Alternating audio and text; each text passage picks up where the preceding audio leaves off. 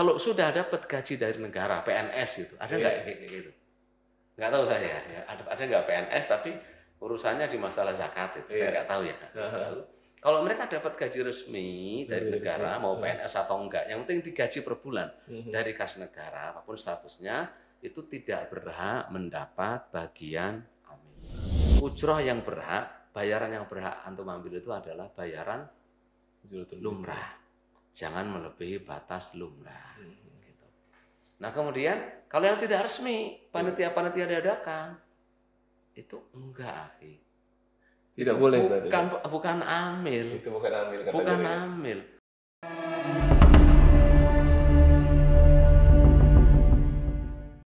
Dan Ustaz, pertanyaan lebih masuk kepada pengelola zakat fitrah Ustaz. Hmm. Jadi eh, sebenarnya pembagian atau jatah bagi panitia pengelola zakat fitrah itu seperti apa sih Ustaz? Ya, Apakah panitia pengelola zakat fitrah. betul panitia Apakah berhak mendapat jatah amil gitu Iya. ya? Hmm. Iya. Panitia zakat fitrah itu ada kalanya resmi dari negara, ada kalanya inisiatif sendiri. Ini banyak kan ya? Iya. Masjid-masjid, musola-musola, Oh, kayak iya. itu. itu membentuk panitia dadakan. Kami menerima dan menyalurkan zakat fitrah. Nah ini kan sebenarnya ini kalau bahasa resmi atau tidak resminya ini nggak resmi, nggak resmi, nggak resmi dari negara. Hmm. Yang saya maksud resmi dari negara itu yang seperti Basnas itu mungkin ya, Basnas, ha. Basnas atau mungkin banyak banyak lain ya. Ada mungkin dompet duafa atau iya. apa. Lembaga zakat lain yang Ya, sudah atau mitra kita legal kan. ya. Mitra kita ini kan resmi dari apa Hmm. dari negara UCARE gitu. Jadi Hmm. kita bermitra kan resmi. Bagi yang resmi ini mayoritas ulama kontemporer dalam seminar-seminar zakat yang digagas diadakan tuh udah tahun 80-an lagi. Sering ada seminar internasional zakat kontemporer.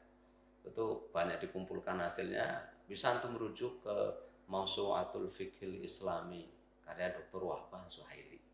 Awalnya beliau nulis Al-Fiqhul Islami wa Adillatuhu. Tambahi lagi sama beliau Mhm. hasil seminar-seminar dari fikih-fikih kontemporer dimasukkan lagi di, dirubah judulnya Mausu'atul Fiqhil Islami wa Qadaya Mu'asarah. Itu di, di situ termasuk. Dan ya buku-buku zakat karya Dr. Qaradawi, karya Syekh Rufaili dan banyak lagi lah. Mhm. Ini juga yang kami biasa bahas di Pasca Sarjana dulu ketika belajar di Saudi. Jadi untuk lembaga-lembaga yang resmi, resmi itu berarti mewakili pemerintah Mewakili pemerintah. Mewa- mewakili pemerintah bisa disebut sebagai amil. Amil itu siapa? Man ba'athahul imamu li jam'is sadaqah atau li jibayatiz zakah. Pengertian dan definisi amil adalah orang-orang yang diutus oleh imam. Imam di sini maksudnya kepala negara. Kalau sekarang siapa? Ya kepala negara kita serta perangkat yang yang mengurusi masalah ini. Jadi mereka-mereka yang diutus oleh kepala negara atau kementerian Hmm. atau mungkin Baznas gitu ya, atau dapat izin resmi untuk mengumpulkan itu berhak mendapat bagian amil, Hmm. berhak mendapat bagian amil. Itu pun kalau mereka tidak mendapat gaji dari negara. Oh. Kalau sudah dapat gaji dari negara, PNS gitu, ada nggak Iya. kayak kayak gitu? Nggak tahu saya. Ya. Ada ada nggak PNS tapi urusannya di masalah zakat itu, saya Iya. nggak tahu ya. Kalau mereka dapat gaji resmi dari negara, mau. PNS atau enggak, yang penting digaji per bulan Mhm. dari kas negara, apa pun statusnya, itu tidak berhak mendapat bagian amil. Iya. Nah kemudian seandainya mereka nggak dapat ini, berarti kan berhak dapat amil. Iya. Yang perlu jadi perhatian di semua lembaga zakat, meskipun mereka resmi dari udah dapat surat izin resmi gitu. Mhm. Ingat, seluruh ulama sepakat. Ini bisa dirujuk di kitab Nawazil Zakat. Karya Wufaili atau Hafiz ya di rumah anda lupa namanya. Enggak tak bawa. Itu itu menukil pendapatnya Ibnu Rushd Al-Andalusi, juga Ibnu Al-Arabi Al-Maliki. Bahwasanya seluruh ulama sepakat bahwa bagian dari para amil itu adalah ujratul misli, upah kelayakan, Wah kelayakan. upah normal gitu. UMM. berarti.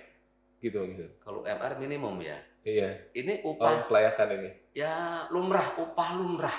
Mhm. lumrahnya orang kerja gitu Afi. Lumrahnya orang kerja itu seberapa?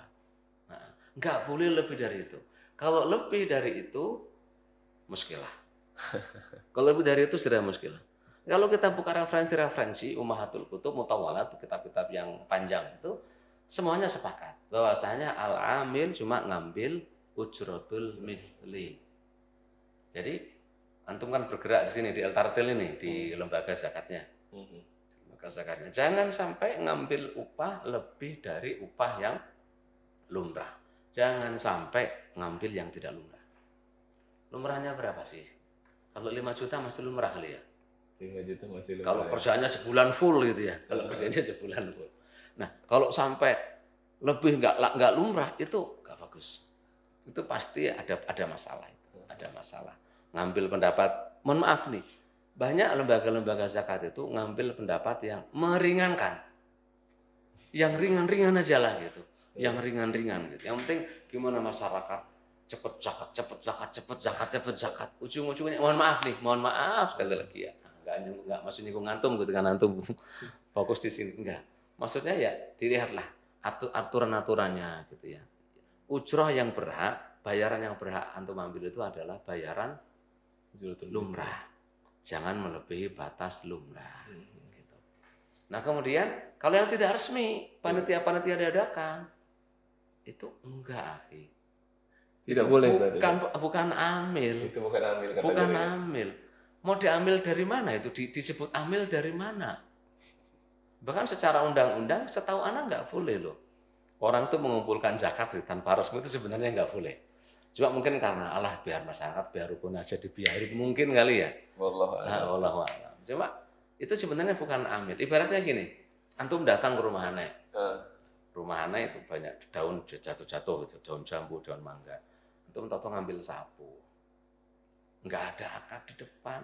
Antum main nyapu, setelah nyapu terus di apa dikumpulin, dibuang tempat sampah. Antum bakar, udah bersih.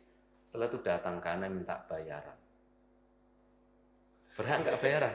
Tidak. Enggak berhak ya karena dari dari mana gitu bayarannya? Kan nggak ada akad di depan. Beda dengan ambil yang tadi ya, yang resmi pemerintah jelas itu.